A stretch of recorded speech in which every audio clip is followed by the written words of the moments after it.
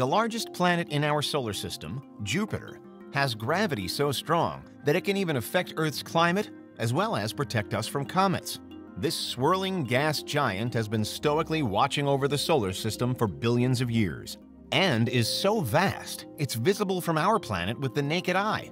But there are still many things we have left to learn. This is Unveiled, and today we're answering the extraordinary question Did scientists finally solve Jupiter's X ray mystery? Are you a fiend for facts? Are you constantly curious? Then why not subscribe to Unveiled for more clips like this one and ring the bell for more fascinating content? For 40 years, strange behavior in Jupiter's atmosphere has been confounding scientists. It's been known for decades that Jupiter has vast auroras, just like Earth does. But unlike Earth, Jupiter's auroras produce large bursts of X-rays at regular intervals. On Earth, the northern and southern lights, though the latter is visible in fewer places, are ultimately caused by the Sun. The Sun's upper atmosphere releases a stream of charged particles known as the solar wind which interacts with the Earth's magnetosphere, causing the phenomenal light shows we know as the aurora borealis and, in the southern hemisphere, aurora australis. During solar storm events such as coronal mass ejections, when magnetized plasma erupts from the sun out into space, the lights can be particularly bright and spectacular.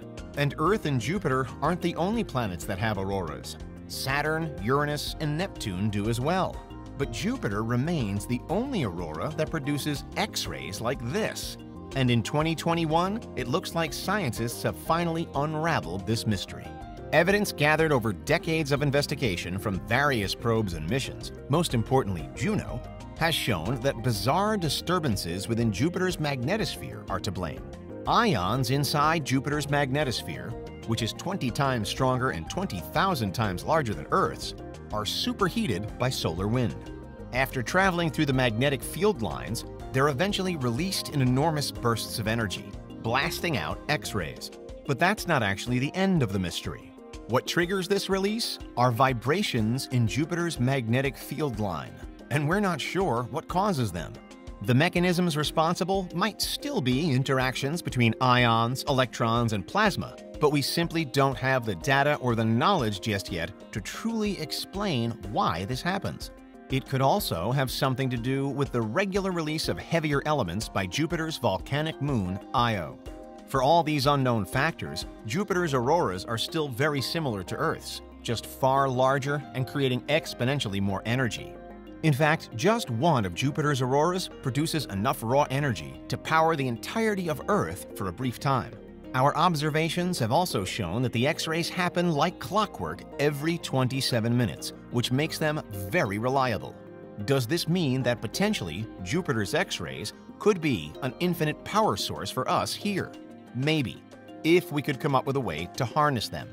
If we did, we'd have a nigh infinite power source on our hands.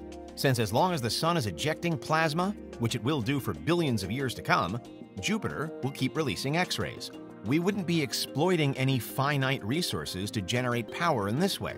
And we'd get a significant amount of energy at predictable intervals.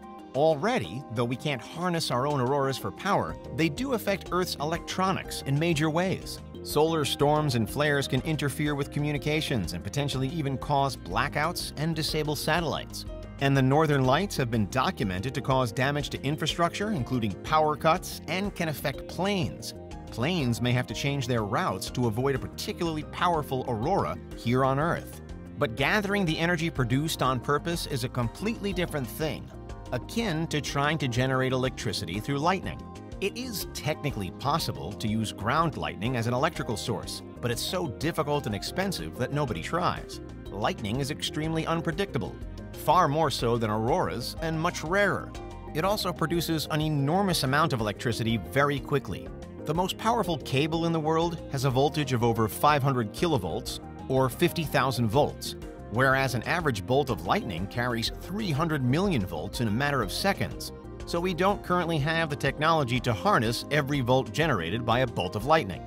We'd also need to transfer the energy into a battery, and while we do have batteries that can handle this, they're extremely expensive to produce.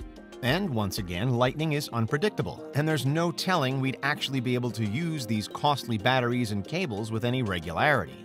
In contrast, we're already very adept at using solar radiation for power in a very different way, because that's how solar panels work. The light a solar panel collects and turns into usable electricity is electromagnetic radiation, and some solar power stations generate immensely more power than many traditional power stations. Jupiter is much farther away from the Sun than Earth, and so it would be trickier to get as much energy as we'd need if we were to ever travel to Jupiter and beyond ourselves. That's why finding a way to use the auroras could be extremely useful. Once we were near Jupiter, they'd be much closer and more reliable than just sunlight and could easily power entire Jovian moon colonies. Of course, to do this, we not only need to learn more about Jupiter's auroras, but also about Jupiter itself, which still has plenty of mysteries waiting for us to solve, including the mystery of its own lightning storms.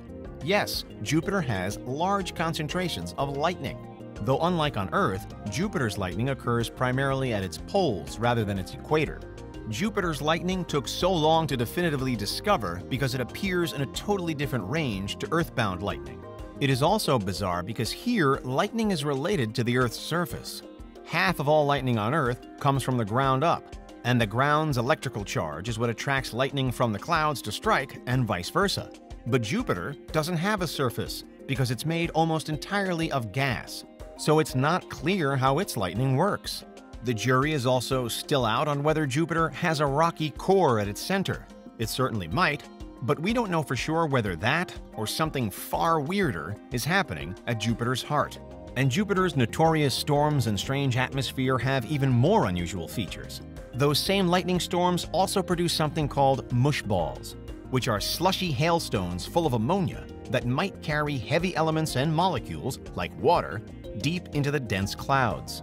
There are also plenty more questions about Jupiter's famous Great Red Spot, an intense anticyclone. Anticyclones on Earth are responsible for creating tornadoes and sometimes blizzards, but Jupiter has the biggest storm anywhere in the solar system. Though Neptune, which is also prone to anticyclones, has its Great Dark Spot as well. We don't even really know how old the spot is, but it's been visible there for as long as humans have been able to see the Jovian surface, which is centuries at the very least. Scientists also aren't in agreement about whether the storm is beginning to dissipate or whether it's just changing its appearance, looking smaller to us here on Earth, but still just as powerful. Not only is Jupiter itself a mystery, but so are its moons. Io, one of the largest, is the most volcanically active body anywhere in the solar system and again might be contributing to the bizarre X-ray auroras. It's got hundreds of active volcanoes and is so covered in sulfur that it appears bright yellow. And of course, there's the most intriguing moon of all, Europa. Europa is an icy moon with a subsurface ocean that many have speculated could play host to alien life. Considering Jupiter itself seems to have all the elements necessary for life aside from water, which is yet another mystery unto itself, there is a strong possibility that something remarkable is lurking beneath Europa's surface. It's clear that we still have plenty to learn about this stunning planet, and slowly but surely, we're chipping away at Jupiter's secrets. And that's why scientists have partially solved Jupiter's X-ray mystery. What do you think? Is there anything we missed? Let us know in the comments, check out these other clips from Unveiled, and make sure you subscribe and ring the bell for our latest content.